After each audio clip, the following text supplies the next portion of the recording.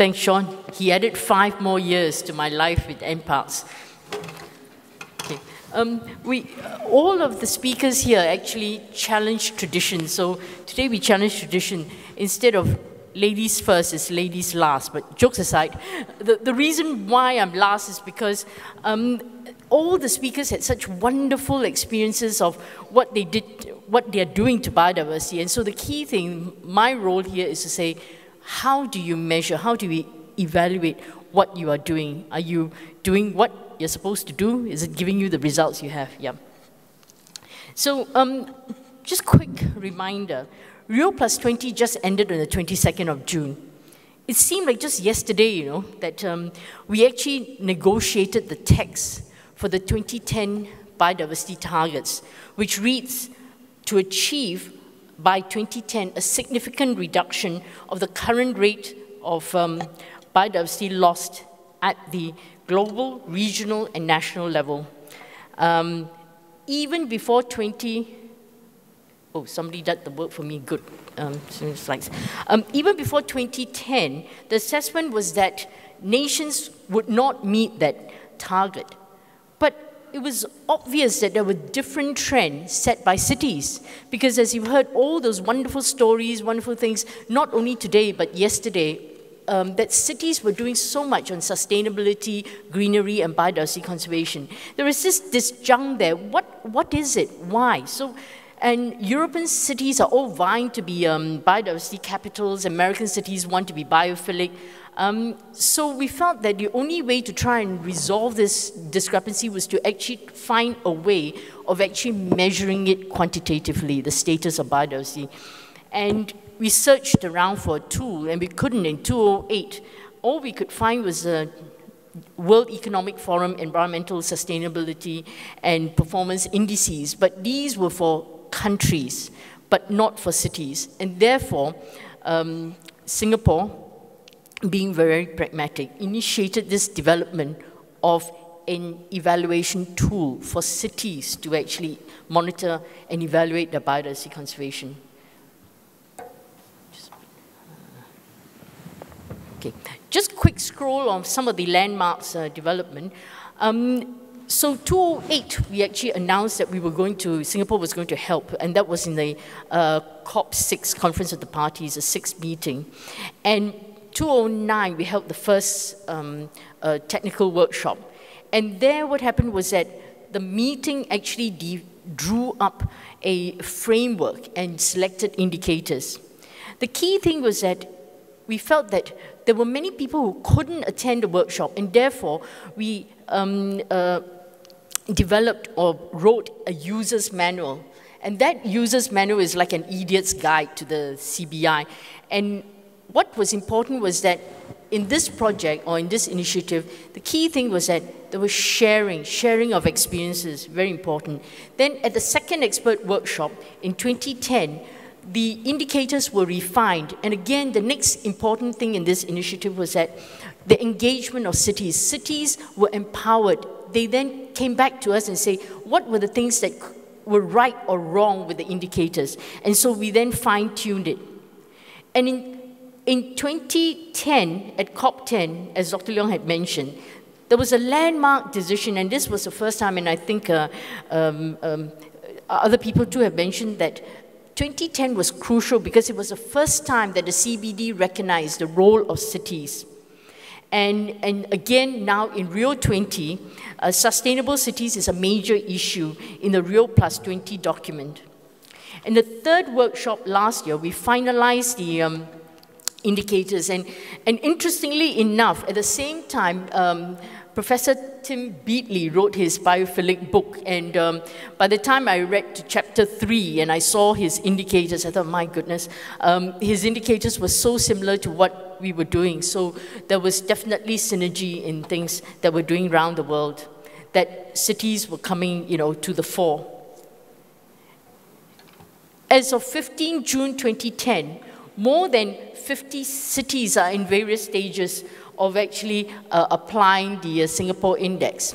cities have actually called us up and said, well, we can't, we, we can't do all the indicators. We, we don't have data for indicators. Can we still join in this project? And we say, of course, because each of us are going at a different pace. And, and, and while they, are, they have data, the, the fact that these indicators show the importance of what is needed for biodiversity conservation, they can then start collecting data that are relevant. And does this work? Can this work? And it does because more than 30 cities have actually uh, tested it and they have um, shown that all the indicators uh, are, are, relevant and you can get data for it. So it's not something that's really difficult. Um, this map shows um, uh, the spread of the, the different cities that have actually um, uh, test bedded the um, index. And it's obvious that there are geographical you know, uh, gaps, but we hope that amongst the audience here, there will be cities who will come up to us and say that, yes, we would like to you know, partake in this um, uh, initiative. For the benefit of those who are not familiar with the Singapore Index, I'll just give a brief introduction to the structure and indicators.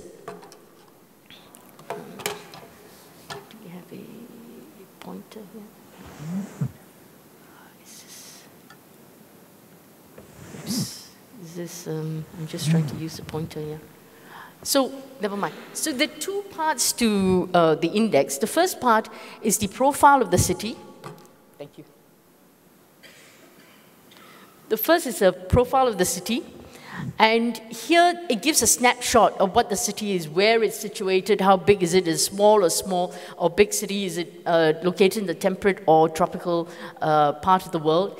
The second part are actually the quantitative part. And we, we were quite um, uh, uh, adamant that we should actually have quantitative figures because um, when we were at the first workshop, uh, people were saying that we should use the traffic light system. And we felt that the traffic light system, well, I think is we're doing better, or, or, I think, I feel we are doing worse. Uh, we felt that uh, to be scientifically credible, we wanted quantitative data, which is the reason why we have a scoring system for uh, the indicators um, from zero to four. The three components of the index are, first, the question is what biodiversity do you have native biodiversity in the city? And we have 10 indicators. And then the second is, if you have biodiversity in the city, what ecosystem services do they provide? And we have four indicators. And third, if you have good biodiversity in the city and, you, and they provide ecosystem services, what are you doing about it, which are the governance and management of biodiversity in the city? So very quickly, I'm going to highlight some of the indicators. For example, um, for bi native biodiversity in the city, I'm going to just bring in. Um, indicator one measures the um, natural areas in the city, and natural areas are the ones who harbor most biodiversity, and which, that's the reason why we want to measure it. Now, again, one of the key principles in this, um, when we selected the uh, indicators, was that we didn't want uh, to measure things that were beyond our control, like how many extinct species you have, simply because it was beyond our control. So what we wanted to do was to take a positive step, and that is to measure the change in number of native species, which means that you have a positive slant to it. What are you doing to actually reintroduce extinct species? What are you doing to actually improve the biodiversity status? Are you doing more surveys? Like in Singapore, we actually found 100 and 50 new species of flies. Yes, they're not just for swapping, but it's, it's quite amazing that you've got new species of flies um, to science. So, so there is lots of biodiversity here, but you need to actually go and survey. This, the next group of indicators are actually ecosystem services, and uh, I'm going to just highlight one of them, and that is the um, uh, indicator 12, which actually measures canopy cover. Because if you've got good canopy cover, what you do is basically you, you, you have all the advantages of uh, trees, uh, carbon sequestration, it helps to reduce um, uh, your temperature, uh, it um, absorbs your particulate um, uh, helps settle particulate pollution. So quite a range of uh, a, good things. So we, that was the reason why we selected indicator 12 as canopy cover. And the third set of indicators are actually governance and management of biodiversity. And one of the important ones is actually uh, institutional capacity because you can't actually, um, you know, try and do biodiversity conservation without the in appropriate institutional setup. And the other thing is actually partnership and, and participation. Yeah, I can see Sean getting a little bit nervous there. Okay, time, next. so the, the, three versions were, three versions of the user's manual were uh, uh, developed. And all the time we are mindful that we want useful, friendly calculations, scientific credibility, and consultative refinement. And quick results because we just got um, the cities to, to, to come back to us on the 15th of June. So what we found was that um, um, most cities could provide uh, the following data, which are basically mostly the ones on native biodiversity. So what is sadly lacking are actually this on ecosystem services. So again, doing this actually give us a diagnostic tool on what are the information we really lack and what is it that we want to uh, measure. Now, um, I'll just quickly quote to you uh, two, um, okay, just one more thing. The, the thing is that originally, oh no, we have this here. Uh, sorry, yeah some of the things that we have is that um, the, the latest progress is that the user's manual has been translated into German, French, and Japanese. And I think it's in the process of being translated into Portuguese and Chinese. So it's really spreading, and more and more cities want to partake, and so they want it translated. And we find that used, it used to be just city officials doing it, but now we have uh, graduate students, we have NGOs, all contributing data. So city officials, uh, you're not alone because there are lots of people out there to help you. Okay, two quotes from people who have used the index.